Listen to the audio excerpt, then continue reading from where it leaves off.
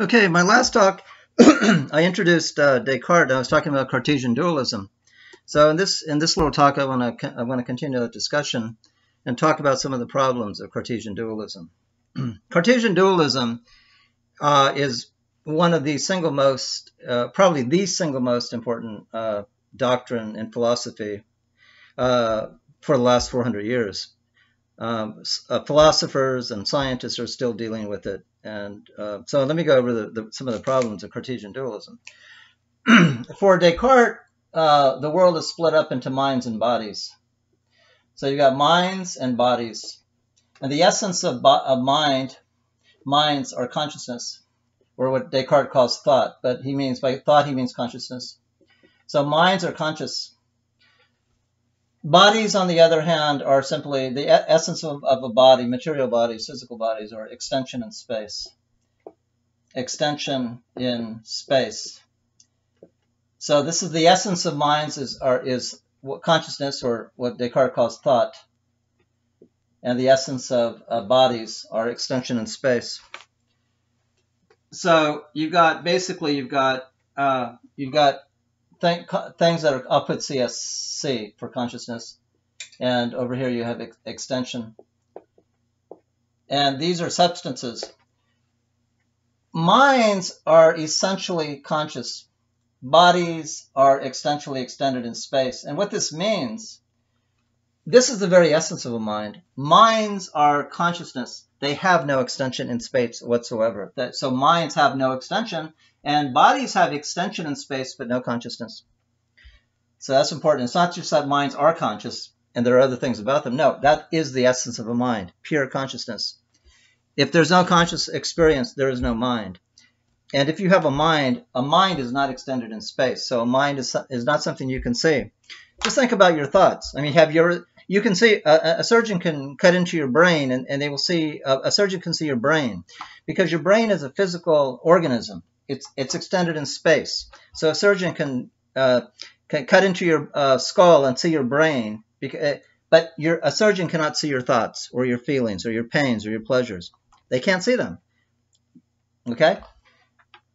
So minds are essentially conscious, bodies are extended in space. Now, these are substances, and by definition, substances are totally independent of other of any other thing. Substances, by definition, if, if you have different types of substances, they cannot interact. That creates a problem.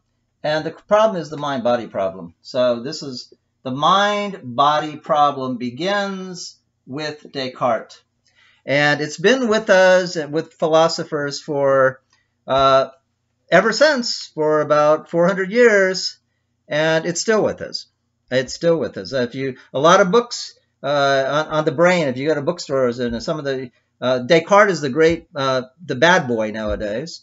Uh, a famous book in in, in uh, has dealing with the brain. It's called Descartes' Error. Another one is Goodbye Descartes. So just like in, De in Descartes' day, the the bad boy was Aristotle. Aristotle. Aristotelian thought had to be killed off for modern science to emerge. In in the in the 20, 20th century and 21st century, uh, in cognitive science and, and, people who are studying the brain and the mind, uh, one of the great bad boys of today is Descartes, because Descartes separated the mind from the brain. And once you separate them, it's like Humpty Dumpty, you know, falls off the wall. You can't put Humpty Dumpty together again.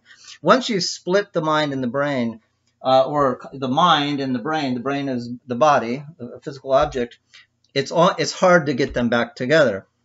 Uh, so that's a big problem. Descartes we we so we don't we do know that they somehow they interact okay but the question is there is whether it's they're, they're very closely connected, they're correlated, or there's a causal relationship, whatever it is.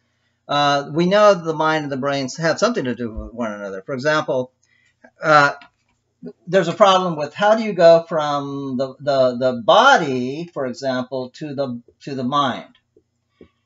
I mean, and we know it, it happens, but how does it happen when minds and bodies are totally separate?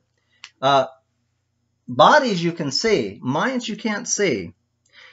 My hand is a physical object. This is a physical object. Uh, a physical object can hit the, this. It can actually hit it, right?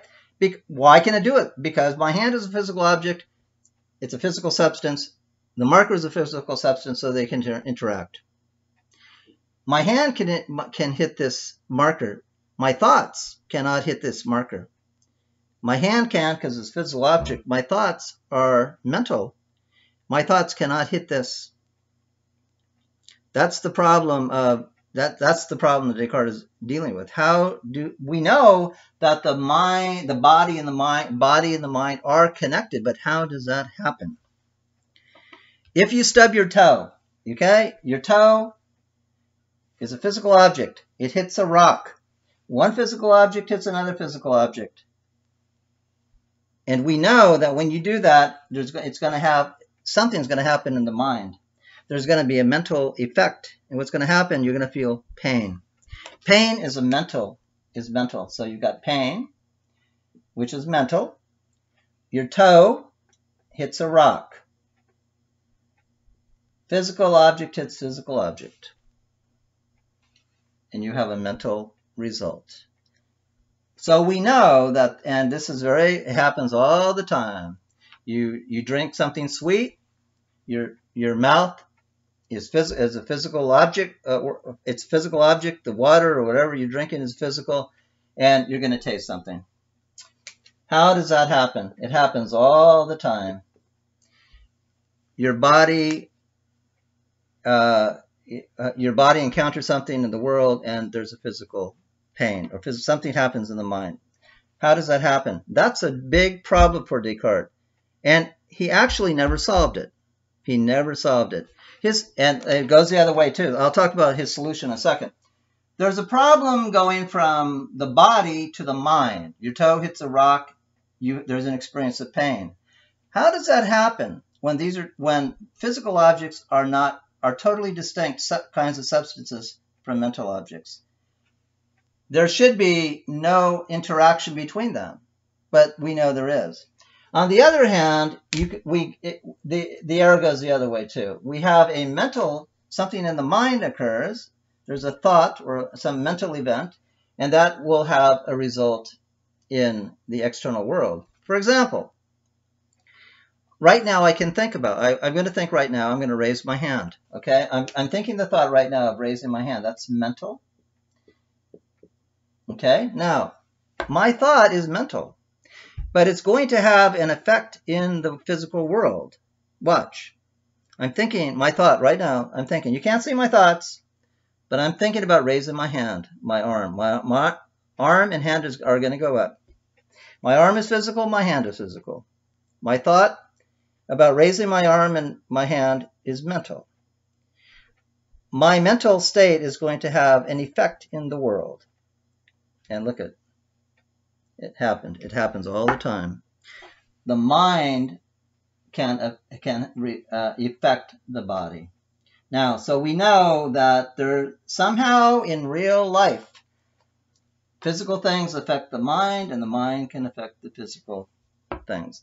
Descartes, how does that happen? Descartes' answer was that in the brain, there's an organ, and let's call this the brain, and in the in the brain, there's an organ uh, organ called the pineal gland.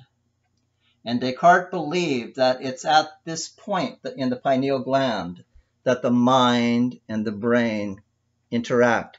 Somehow, the mind uh, is able at this point to what uh, to effect uh, to change what he called the animal spirits in the brain. I mean, he, he, that's, that's a terminology back back in those days, 300 years ago. Somehow, in in the pineal gland, the mind is supposed to be able to affect. I mean, the the the mind is supposed to be able to affect the body. Now, that doesn't really make any sense, and uh, because by definition, mental substances cannot have an effect on physical substances, and either and and physical substances cannot have an effect on mental substances. So that's Descartes' proposal. He wasn't happy with it, and no one was happy with it. No one accepted it. Descartes had no other answer. Basically, just gave up at that. Uh, he get he had no answer to it, and no one else. No one has ever been able to explain how the mind and the body are related. Now, since that's the case, what has happened since Descartes is that people have basically it said, look, it we can't get the mind and the body together. So one one thing we can do is just say that there there's not two things. There's only one thing. You could say everything is mental. That's what the idealists said. Berkeley, Hegel, people like that, Leibniz. Their physical things do not exist. Another way to deal with it is, there's other ways too, but another major way to deal with it is to say that there really is no mind. Everything is ultimately physical. So you get rid of one or get rid of the other. Um, anyway, that's that's so that's the first problem with Descartes, called the mind-body problem, and it's still with us today, 400 years after Descartes. Uh, philosophers and scientists are still still arguing about it. And we get later on in the course, we'll spend more time, uh, uh, uh several lectures on the mind-body problem. Another problem with Descartes that arises from Cartesian dualism is the problem of skepticism. So it's skepticism about the external world, skepticism about the external world, skepticism about the external world the reason this is a problem for Descartes is that, as I mentioned in the last lecture, the mind has direct access to itself. So the mind only has immediate access to other to what's going on in the mind. It doesn't have direct access to objects in the world. Well, since we don't have direct access to the external world, that raises a big problem since we never see the external world directly, we have to infer it. How do we know there's an external world there if we never see it? That's called skepticism as about the external world. And that problem has, from once you begin with Cartesian premises that the mind and the body are two separate substances, that seems to be an, a, a problem that cannot be solved in the around 1800, a little before 1800, Immanuel Kant said that it's a scandal that no one has been able to prove that the external world exists. Uh, in Descartes' view, the mind and the world are totally separated from one another. So you've got the external world and the mind. We are a subject in a next in a world that we are separated from. We have no direct access to it. All we can know is what we perceive. All we can know are mental representations of the world, but we have no direct access to the world. And that raises the problem of skepticism. How do you know there is a world out there? Maybe, you know, it's logically possible that everything that I perceive, trees and the sun and everything else, is simply what nowadays we call virtual reality. There's nothing out there. There's just a movie going on in our brain, and it's not about anything outside our, our, our, our brain. So that's a problem of, of, of, of skepticism about the external world. Um, let me say something more. I'm going to say something about this too. I, I just it came to my mind. Um, for Descartes, the bodies are pure extension. They do not have any consciousness. They do not think. The mind thinks. Now, most people believe that if you ask if you ask somebody, you know, how is it possible that we have we can think? How is it possible that we have feelings and we and desires and we can have pains? Uh, what what how what what causes that? And most people will say, you know, it's the brain. It's not my hand. My hand doesn't cause me to think. I think with my brain, right? That's what most people believe. Do we think with our brain? I don't think with my foot. I don't think with my hand. I think with my brain. Descartes did not believe that at all. Descartes would say that's that's crazy.